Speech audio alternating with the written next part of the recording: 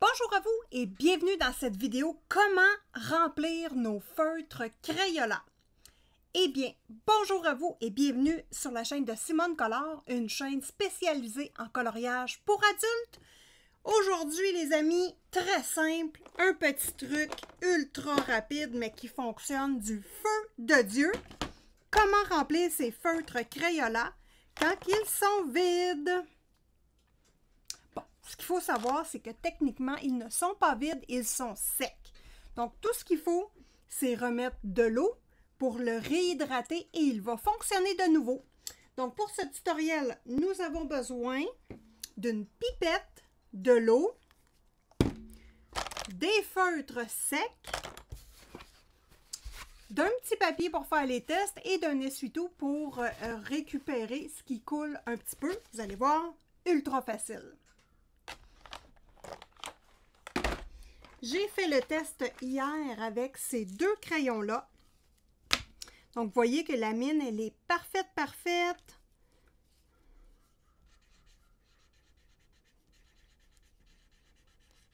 Il écrit super bien, la mine de côté également. Et ce feutre-là donnait ça ici hier, donc avant que je mette de l'eau. Deux minutes après, ça donnait ceci et cinq minutes après, cela. Donc, celui-ci est un crayon qui est très, très pâle. Donc, il n'arrivait plus à écrire du tout. Avec de l'eau, deux minutes après, ça donnait ça. On va voir ce que ça donne aujourd'hui. Donc, nous avons de l'encre sur la pointe de la mine. Il n'y a pas de souci. Donc, lui, il y a encore de la difficulté. Peut-être que je n'ai pas assez mis d'eau. Ça va être à voir. Ou peut-être qu'il va être irrécupérable, étant donné qu'il est très pâle et quand on rajoute de l'eau, évidemment, ça pâlit un petit peu la couleur. Bon, ça pâlit un peu la couleur, mais euh, le crayon reste très fonctionnel quand même. Donc ici, moi, j'ai des doubles tips, donc deux couleurs. Et ce crayon-là ne fonctionne pas bien. On va vérifier ça tout de suite ensemble. Donc, ce côté-là, ici, ça va.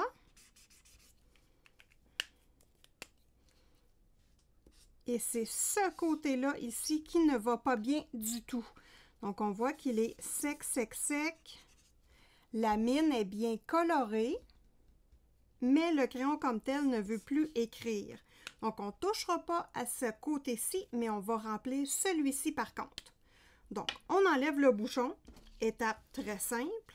On met un petit papier d'essuie-tout. On prend notre eau. Moi, j'ai pris de l'eau du robinet. Il n'y a pas de souci. Et voilà, je mets de l'eau sur la mine.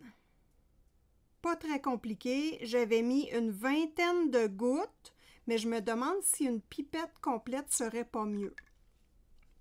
Donc, on va faire un bon petit zoom, les amis. Là, on veut voir ça de près, Simone. Vous voyez que la mine se décolore. Il n'y a pas de souci. C'est correct qu'elle se décolore parce que l'encre se réhydrate et rentre dans la chambre. Donc, c'est parfait. On ne brise pas notre feutre de toute façon. Donc, on y va doucement. Et vous allez remarquer sur certains feutres, là, il y a de l'air qui sort. Ça fait des petites bulles. Tout à fait normal. Ici, lui, il a une petite craque pour faire rentrer. Voyez ici, la mine, elle a une petite craque. Est-ce qu'on le voit bien? Oui, on le voit ici. Donc, c'est par là que je faisais rentrer l'eau tout simplement.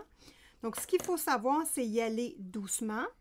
Donc, ne pas euh, y aller vraiment goutte à goutte, pas se précipiter. Laissez le temps une petite bulle de sortir parce qu'on ne veut pas que l'encre vienne déborder puis coule euh, tout autour du crayon. Donc, euh, je rentre la pipette au complet. On va le faire ensemble.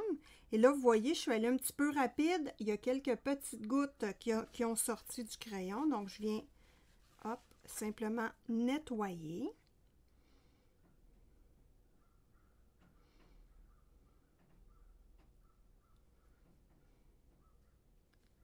Quand on a terminé notre opération, il faut laisser le crayon avec le bouchon plat pour que l'encre puisse bien voyager dans la chambre et retourner dans la mine. Parce que comme vous voyez maintenant ici, l'encre s'est délavée beaucoup. et elle doit retourner dans la mine. Donc, ça peut prendre...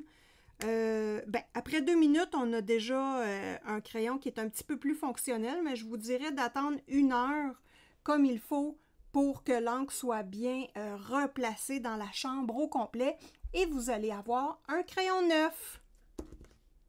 C'est pas compliqué, c'est facile. Les crayons Crayola, Play School, les crayons feutres comme ça, ça coûte pas cher et ça s'utilise très bien en coloriage pour adultes. Vous pouvez faire de l'aquarelle avec ces crayons-là, c'est facile. On prend une petite plaque, on met notre feutre sur la plaque, on prélève avec un pinceau, hop, de l'aquarelle. On veut l'utiliser comme encre pour travailler dans nos coloriages ou faire du stamping.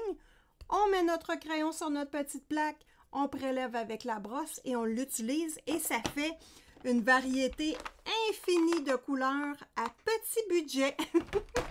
oh, on aime ça chez Simone Color.